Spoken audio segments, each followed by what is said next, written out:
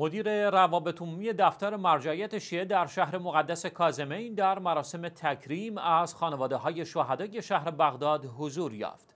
به گزارش شیویوز به نقل از پایگاه اطلاع رسانی دفتر آیت الله شیرازی حجت الاسلام شیخ احمد اللامی مدیر مرکز روابط عمومی دفتر بزرگ مرجع جهان تشیع آیت الله العظما سید صادق حسینی شیرازی دامزلو در شهر مقدس کازمین در مراسم تجلیل از جمعی از خانواده های شهدای نیروهای مدافعت باد و مقدسات عراق الحجد و شبی در شهر بغداد شرکت کرد.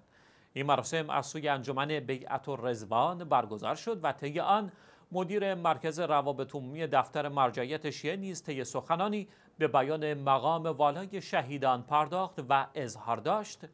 خون پاک این شهیدان شر دشمنان را از سرزمین عراق دور کرده و سبب آزادی و سیانت از مقدسات این کشور شده است.